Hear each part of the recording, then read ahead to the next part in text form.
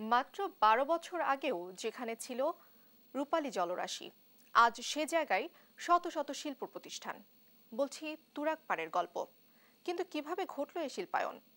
পরিবেশবাদীরা বলছেন, মানা হয়নি হাইকোর্টের নির্দেশ। জাতীয় নদী রক্ষা কমিশনের চেয়ারম্যানের মতে, সুবিধাবাদীদের কারণেই এমন পরিস্থিতি। ঢাকার নদী দখল নিয়ে মাসুদ মোস্তাহিদের ধারাবাহিক প্রতিবেদনের আজ দেখুন দ্বিতীয় পর্ব। ক্যামেরায় ছিলেন সজীব রহমান।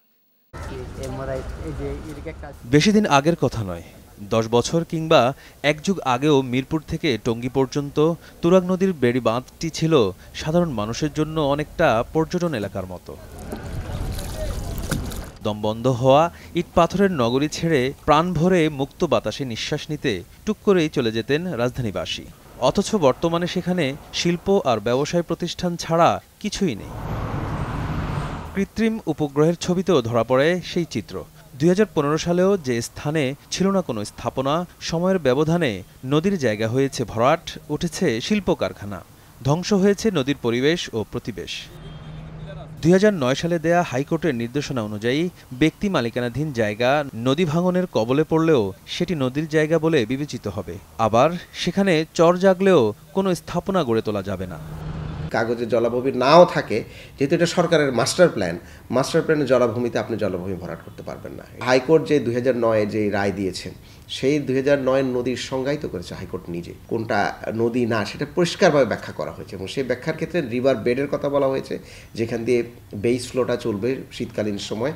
এছাড়া বর্ষাকালীন সময় জোয়ারে যতটুকু পানি যায়, ততটুকু পর্যায় পর্যন্ত ফোরশোর বলা হয়েছে। River and delta research centre আরডিআরসির পরিচালক বলছেন, জাতীয় নদী রক্ষা কমিশন নিজেই মানছেন না হাইকোর্টের নির্দেশনা। স্বাধীনতার পরে প্রায় পাঁচশোটি নদী না, আজকের বিলীন হয়ে গিয়েছে, আমরা একটা গবেষণা করেছি। তো সুতরাং পঞ্চাশ বছর যদি পাঁচশোটি নদী বিলীন হয়, হাইকোর্টের দুটি বড় বড় রায়ের পরে নদী রক্ষা কমিশন কি একটি নদীকে রক্ষা করতে পেরেছেন? একটি সাকসেস স্টোরি কি নদী রক্ষা কমিশনের আছে? কিংবা একটি একটি মামলা কি নদী রক্ষা কমিশন এখন পর্যন্ত করেছেন? এই প্রশ্নটি তো মানুষজন আমাদেরকেও করে আমরাও করি কারণ আমরাও নদী নিয়ে কাজ করি। সব অভিযোগ অস্বীকার করেন জাতীয় নদী রক্ষা কমিশনের চেয়ারম্যান। বলেন ব্যক্তি স্বার্থের কারণেই তার বিরুদ্ধে ষড়যন্ত্র চলছে। এটা একটা মানে ষড়যন্ত্র।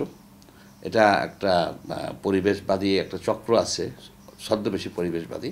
তারা একটা চাঁদা আদায়ের একটা সুযোগ করতে চাইছিল। সেখানে আমাদের যে আগের যে চেয়ারম্যান সাহেব ছিলেন বেচার অনেক আগে এখান থেকে চলে গেছেন ওনার কাছে একটা ল্যাপটপও আছে, তার মধ্যে কিছু ডাটা ছিল হয়তো। জানি না, ওনার কাছে একটা ল্যাপটপ উনি নিয়ে গেছেন যাওয়ার সময় প্রজেক্ট থেকে।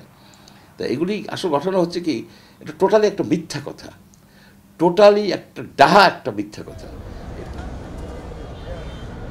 নদী এক জায়গায় তো বেড়িবাঁধ আরেক জায়গায়। আছে দখলদারদের নাম, তবুও হয় না উচ্ছেদ। নদীর সীমানা পিলার থাকার পরও বন্ধ হচ্ছে না। দখল।